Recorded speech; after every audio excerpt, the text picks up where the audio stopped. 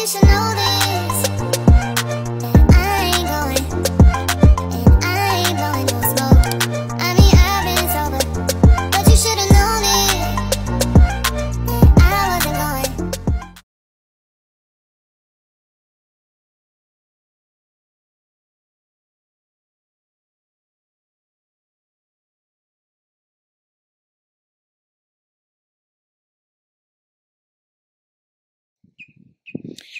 What's up, y'all?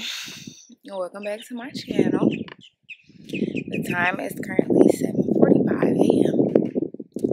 and I'm out here at the beach. I'm at Tybee Island, but I'm specifically at the part of the beach where I got baptized. And I felt like it was important for me to come back here because there's times where I feel like a bit lost. But it's not lost in terms of self, it's like lost in terms of like what's going on around me. I feel like ever since like I lost my mom that I had this I had that lost feeling. And I feel like the only thing that makes me not feel lost is God. Like every time that I feel near to God, that's when I feel found. so I came here. I came here like to get back to the start, like to the beginning. Because I don't want to cry, but I mean, I feel like my mom was the beginning obviously my true beginning. And she's gone. So my true beginning is gone. So I have to come to where God made me brand new again. And I feel really at peace here.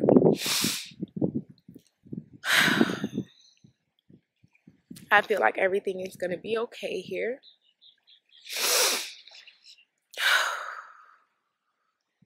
And I just know that I'm not alone. When I came out here, I invited the Holy Spirit into my heart. And I wanted to read whatever chapter in the Bible that was like meant for me. I always pray to God and ask God when I'm about to read my Bible. I'm like, God, take me to whatever is for me. And God took me to Psalm uh, chapter 107. It was really interesting is that multiple times throughout this chapter, there's a verse that says, Then they cried out to the Lord in their trouble, and he delivered them from their distress. It says this multiple times in this one chapter, just maybe about four or five times. It says that same exact thing. And then in Psalm 107, Whew. Psalm 107, chapter like 24 through 29, God starts talking about stilling the storm to a whisper and making the waves of the sea hushed. We just gonna give a moment of silence for that. God to say that when people cry out to the Lord in their trouble, He delivers them from their distress.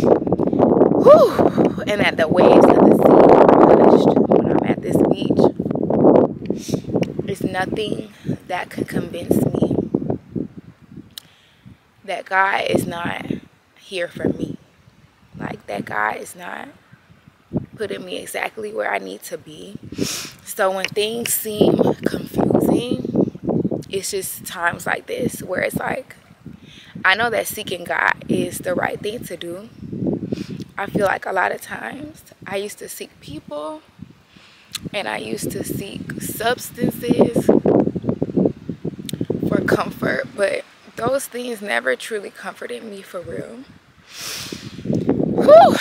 And I came here to make this video as like a life update for you guys because I feel like a chapter has closed, like an era has ended, and a new era has beginning, has began or is beginning. And it's like, speaking of substances, we obviously know that I can't say too much for certain reasons, but I think we all can guess the substance that a lot of us draw near to when we feel like when we feel like we're in distress or when we feel like we need peace or when we feel like we need to be calm. That substance that we inhale and exhale i feel like i was running to that ever since i was 14 i used to be so proud of that habit. I used to say it was a habit that i was never going to break that it was something that i was never going to stop doing. But i declare that I'm never doing that again. And I know that only God's strength will help me to never do that again. Because I know that I can only rely on my own strength. But it's been two solid weeks now that I just had a complete sober mind and I feel I feel good. This is not my first time having a sober mind. Back in 2022,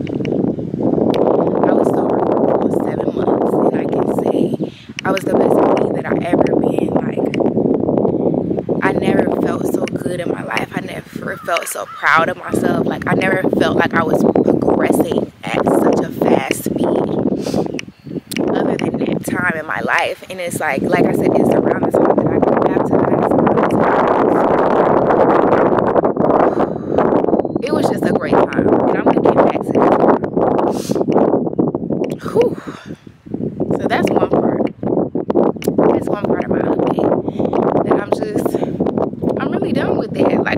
I don't feel proud. I mean, I feel proud of where I where I came from. I feel proud that I did that for years and years and years and I was able to be delivered from it. I feel very proud about that. Whew. Something else that I feel proud of is I took a big step took a big step to let go of something that I have been holding on for unnecessarily, y'all. I feel like I have been holding on to my relationship for the wrong reasons. I feel like I was trying to prove to myself that I be strong and that I could hold on because I'm usually the type of person I give up. When it comes to people and situations, I'll give up. I'll stop talking to a person. I'll block a person. And I really just be having peace in my mind, in my heart, that I'll never talk to that person again. And something about that doesn't sit right with me anymore. But I didn't understand the right way to go about it. It's like I knew that I wanted to stop being that type of person. I wanted to stop sitting right with my heart to ignore people or to block people out and, and feel like I was never ever going to talk to them again. I knew that that wasn't right. But I felt like the way that I had to, like as I'm was on this new journey and try to do things differently, I feel like the right way to do that, or I felt like at the time that the right way to do that was to put up with stuff. Cause like that was that was my idea at the time of just like sticking around. But I see that there's no value in sticking around in situations that don't feel that don't make me feel centered, that don't make me feel peaceful. I don't need to stick around in situations that don't feel like they're from God. And I feel like nothing from God is confusing. Like, do y'all see like how God just made this so plain? Me reading this chapter, the wind, the literal wind, y'all, turning the pages to this Bible to where I needed to see. There's nothing confusing about that. And I feel like my relationship was so confusing and it was so unsettling. And there was so many times where I did not know peace in that relationship but I just was sticking around. And I will be honest with y'all a situation happened. Whew. A situation happened that caused like both of us to be in a situation where we didn't want to stick around anymore because I will admit that I was stalling like I was really stalling. I knew, I knew that I wanted better, and I knew that I needed to separate myself. Like not in terms of just never talking to him again, but I needed to separate myself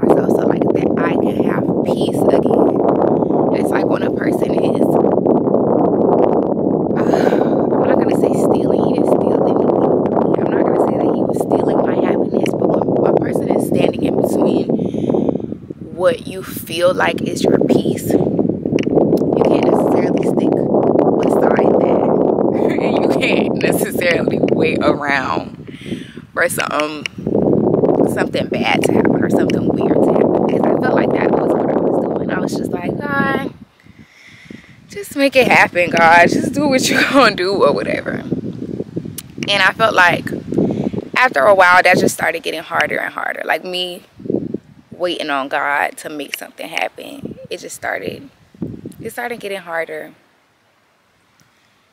So I feel like he got to a place that he wanted things to happen. He said that he wanted to go on a break.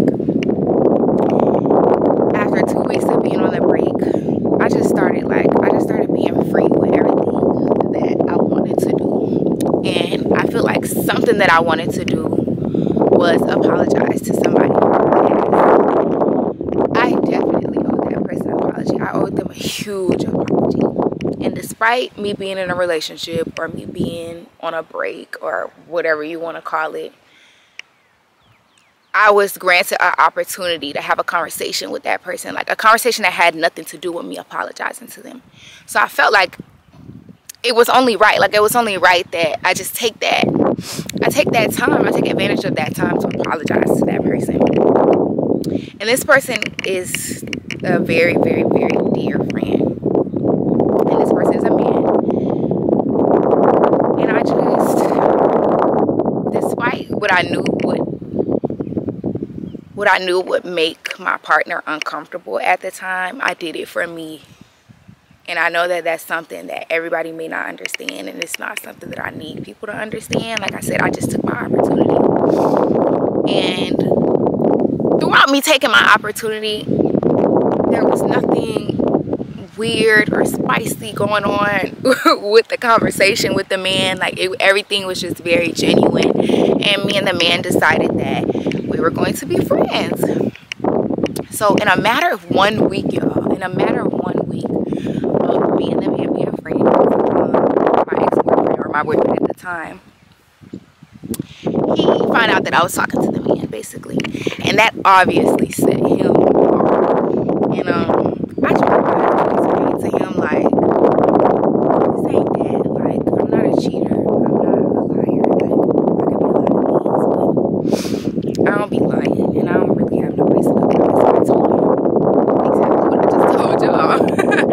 and he didn't necessarily believe it, but that was to be expected. And I just took that, I took that as my chance. And I know that he may view it as cowardly.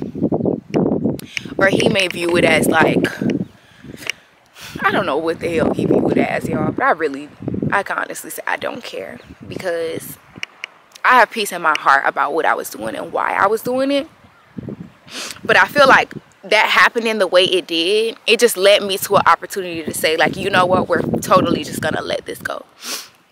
You said that you wanted to be on a break. I don't even know what the hell a break consists of. I was just going along with it. Like I said, just trying to stick things out, going along with it. But that situation happening, I'm like, this is this is a perfect time for us to just like end things here because like things are only gonna get worse. Like if you think that I'm cheating, things were already bad. But if you think that I'm cheating on you, things are gonna get worse. I'm not gonna be I'm not gonna just go through a state of being condemned and being treated like I'm no cheater. Like, no. Like I said, we were already going through enough. Like anger and resentment was already very, very, very present in our relationship. The whole theme of our relationship was resentment. I feel like we had a lot of good times and at times he was a really good friend to me and we got along very well personality wise. But, it came to his actions and when it came to my actions, it's like we were always disgruntled with each other when it came to things that I wanted to do. He kind of just like, why are you doing that? And when it came to things that he wanted to do, I would just be like, why are you doing that? Like, we just weren't aligning on certain parts of life outside of personalities. And I learned from this relationship to stop forcing stuff. Like me and my boyfriend or my ex-boyfriend, whatever you, you want to call it, we dated on and off for two years. And we tried to get in a relationship for two years. And we got to a point where we kind of like forced ourselves to be with each other and then it was it was exactly that it was forced it was beautiful and i was happy for it because it was what i wanted like i know y'all know as women like when things not working out with a man and you love that man you like this my man like this my man and it's like this what it is and that was that was my stance that was my tone for a while but that's not my man y'all because that situation was entirely too confusing like I said, it wasn't all bad. There were really amazing times. Times where he made me so happy and times where he made me feel so comforted. Also where he made me feel so disturbed. He made me feel so unhappy. And I just I don't have to. I don't have to. So I feel like I gotta spit so that chapter ended, y'all. And I'm happy about it. I know nobody understands. Everybody's like, girl, what is wrong with you? Like, is you good? And I'm like, yeah, I'm really good. It's like my friends and my family, they keep checking on me and they're like, I mean, you don't have to act like you're good if you're not good. And I'm like, I'm good. And this will help segue into the next thing that I want to talk about which is my mom. When my mom passed away, y'all, everybody kept telling me, like, you don't have to act like you're good. You don't have to act like you're good if you're not good. Like, why aren't you reacting? Like something, a big theme in my life is like I realize that people want me to be reactive. And it's very obvious that I've changed and I've stepped far, far away from the reactive person that I used to be. So I know that's what people like that's what people expect out of me. But I really don't have any reaction for for anybody. If I react to anything, it's gonna be for me, you know. And around the time that my mom passed away, I just didn't feel and that's just a sentence in itself like I just didn't feel like at the time everything just, I just couldn't feel it. And I don't know how to explain that to y'all, but it's just like, my mom, she passed away on a Monday morning on August 29th, 2022, on just a regular day, or what I thought was a regular day. And maybe one day I'll fully open up to you guys about me and my mom's relationship. But I was that we were not in the best place.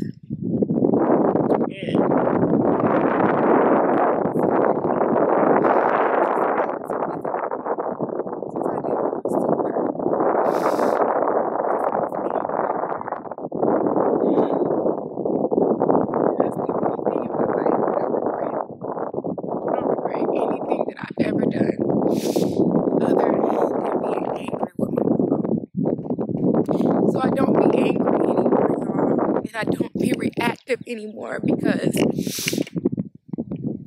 I feel like I made my biggest mistake by being angry. So, like, moving forward in life, all that being mad, all that being reactive, all that just leading with my emotions, I'm done with that. And it's like, if people can't relate to that, then they just not gonna be able to relate to me. I don't have to put my feelings on display for them to be real. And when I'm ready to feel my emotions, I feel them. It took a really long time for me to start grieving my mom. Like the whole first six months, y'all, when I tell y'all that I did not feel like I did not feel like my mom died, like I really felt like I'm not gonna say I felt like it was a joke, but like my mom came to me in my dream like a couple months after she died. My mom was a really jokey person, y'all. Like very, very, very jokey, very fun, very lighthearted. So she came to me in my dream and she said, I'm not dead. and she was laughing. She said, I'm not really dead. She said, I wanted to tell y'all that I wasn't dead, but y'all had the funeral and everything, and everything just went so far. I just didn't know when to stop it. And she was laughing the whole time she was saying this, y'all, like right, like right hand to God. And I woke up and I was like, what? She not dead. Like, girl, if you ain't dead, where you at? And my mom ended up coming to me a times in my dream. One of the times she came to me, I got into a car accident, but I was in the back of the car. I was in the back seat. I wasn't even driving. And that was the time my mom was coming to me in my dreams. I had a baby, like a little baby, like a little baby girl. And in all of my dreams, like I was guarding this baby with my life, y'all. Like no matter what was going on, I was guarding that baby. And I still like don't really know what's up with the baby. But the car wrecked and the car wrecked inside of a pond, like inside of water. And my mom, she pulled me and the baby out of the water and she said that everything was going to be okay. And ever since then, I've been believing her. God has been reassuring me that everything was going to be okay. Because months after my mom passed, that's when God came to me. That's when I physically felt God's presence. God came into my room. and God, I felt God literally wrap his arms around me, God. Oh. Let me start over. I physically felt God's presence. The Holy Spirit led me to, to play this song. The song is called Well Done. And I didn't quite understand, like, is by Deitrick Haddon. I didn't really understand, like, I was just sitting quiet. And I usually don't sit quiet when I'm in my room. But I was just sitting in there. I wasn't scrolling on my phone or nothing like that. And like the Holy Spirit told me to play the song Well Done, Deitrick Haddon. And I played the song. And y'all, like that moment, it literally changed my life. Like God literally came into my life. God came into my room. Like I felt the Holy Spirit. I physically felt God